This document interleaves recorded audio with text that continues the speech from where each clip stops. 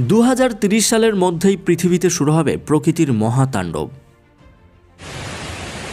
জলবায়ু পরিবর্তনের ফলে দ্রুত গরম হচ্ছে বিশ্বের মহাসাগরগুলি। ধেয়ে আসছে ঝড়, বন্যা, দাবানলের মতো প্রাকৃতিক বিপর্যয়। রাষ্ট্রসংঘের জলবায়ু পরিবর্তন নিয়ে কাজ করেন এমন বিজ্ঞানীরা, বিশ্বজুড়ে তাপমাত্রা বৃদ্ধি নিয়ে আশঙ্কা প্রকাশ করেছেন। অবিলম্বে পদক্ষেপ না নিলে ভয়াবহ পরিণতির ব্যাপারেও সতর্ক করেছেন তারা। মহাসাগরগুলি গরম হওয়ার ফলে আটলান্টিক মহাসাগর ও প্রশান্ত মহাসাগর সংলগ্ন অঞ্চলে ঘূর্ণিঝড়ের প্রবণতা আরও বাড়বে, জানাচ্ছে নাসা। বর্তমানে যে হারে গ্রিনহাউস গ্যাস নিঃসরণ হচ্ছে, তাতে করে দু সালের মধ্যেই গড় তাপমাত্রা বৃদ্ধির হার এক দশমিক পাঁচ ডিগ্রি সেলসিয়াসের বেশি হবে। এমনটাই জানিয়েছে inter governmental panel for climate change.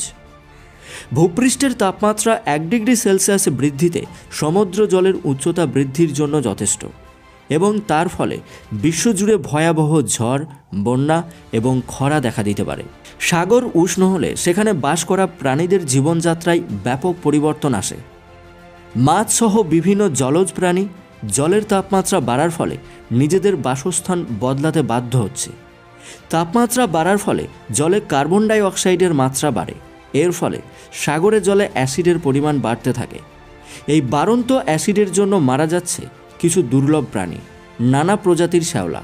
জল গরম হলে সেখানকার অক্সিজেনের মাত্রা কমতে থাকে। উষ্ণায়নের ফলে বাড়ন্ত তাপমাত্রা বিশ্বজুড়ে সাগর, নদী ও হ্রদকে করে তুলেছে বিষাক্ত, অ্যাসিডযুক্ত। সাথে অক্সিজেনের মাত্রা কমায় প্রাণীরা নিঃশ্বাস নেবার জন্য পর্যাপ্ত অক্সিজেন পায় না। গরম অক্সিজেনহীন জলে বিষাক্ত শ্যাওলা জন্ম নয়। এর আগে চিলির উপকূলে লাল রঙের বিষাক্ত শ্যাওলা বাড়ার ফলে হাজার হাজার মাছ মারা যায়। এমন জিনিস ভবিষ্যতে অন্যান্য জায়গাতেও দেখা যেতে পারে, এমনটাই আশঙ্কা করেছেন নাসার বিজ্ঞানীরা। জলের তাপমাত্রা বদলের ফলে বদলে যায় ঢেউয়ের চলনপথ। এর ফলে কিছু কিছু প্রাণী সাগর থেকে অন্যত্রে গিয়ে পড়েছে। অন্যদিকে কিছু কিছু অঞ্চল আগের থেকে বেশি ঠান্ডা হচ্ছে। আর একদিকে অন্যান্য অঞ্চলের তাপমাত্রা পারদ ভাঙছে সমস্ত রেকর্ড। বৈশ্বিক উষ্ণায়নের ফলে এমন ব্যাপক বদল আসছে, পৃথিবীর প্রাণী বৈচিত্র্য বদলে দিচ্ছে, বিপদের সম্মুখীন অসংখ্য প্রাণীদের জীবন। আন্টার্কটিকার তাপমাত্রা বাড়তে বাড়তে আমেরিকার গ্রীষ্মপ্রধান শহর লস অ্যাঞ্জেলসের কাছাকাছি গিয়ে পৌঁছেছে। উত্তর আন্টার্কটিকার আর্জেন্টিনায় গবেষণাস্থল এসপেরেঞ্জা বেসের তাপমাত্রা ছিল আঠারো দশমিক তিন ডিগ্রি সেলসিয়াস। আন্টার্কটিকার গবেষকরা তাপমাত্রা মাপা শুরু করার পর থেকে আজ পর্যন্ত এটিই সবচেয়ে বেশি তাপমাত্রা। নাসা বলছে, তাপমাত্রা বাড়ার ফলে বরফ গলে পুকুরের সৃষ্টি হচ্ছে। উত্তর মেরু ও দক্ষিণ মেরুতে বরফ গলার কারণে বাড়ছে সমুদ্রে জলের উচ্চতা। নিকটবর্তী অঞ্চলে যেসব মানুষের বসবাস, বিপদগ্রস্ত হচ্ছে তাদের জীবন।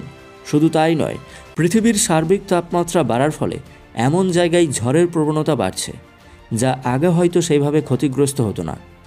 চরম আবহাওয়ার ফলে শুধু সমুদ্র স্তরই বাড়ছে না, কিছু কিছু অঞ্চলে বাড়ছে শুষ্কতাও। নাসা জানাচ্ছে, খরা বাড়ার ফলে স্বাভাবিক সময়ের চেয়ে বেশি সময় ধরে চলবে দাবানল।